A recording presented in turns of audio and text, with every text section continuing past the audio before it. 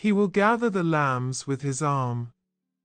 Isaiah chapter 40, verse 11. Our Good Shepherd has in his flock a variety of experiences. Some are strong in the Lord, and others are weak in faith. But he is impartial in his care for all his sheep. The weakest lamb is as dear to him as the most advanced of the flock. Lambs are accustomed to lagging behind, prone to wander, and apt to grow weary, but the shepherd protects them from all the danger of these infirmities with his arm of power. He finds newborn souls, like young lambs, ready to perish. He nourishes them until life becomes vigorous. He finds weak minds ready to faint and die. He consoles them and renews their strength. He gathers all the little ones, for it is not the will of our Heavenly Father that one of them should perish. What a quick eye he must have, to see them all! What a tender heart, to care for them all! What a far reaching and potent arm, to gather them all!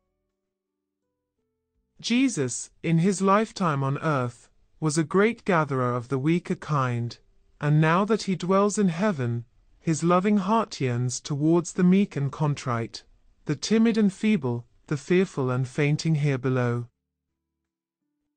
How gently he gathered me to himself, to his truth, to his blood, to his love, and to his church. With what effectual grace he compelled me to come to him. Since my first conversion, how frequently he has restored me from my wanderings, and once again folded me within the circle of his everlasting arm. The best of all is this, that he does it all himself, personally. He does not delegate the task of love, but condescends himself to rescue and preserve his most unworthy servant. How shall I love him enough, or serve him worthily? I would gladly make his name great unto the ends of the earth, but what can my feebleness do for him?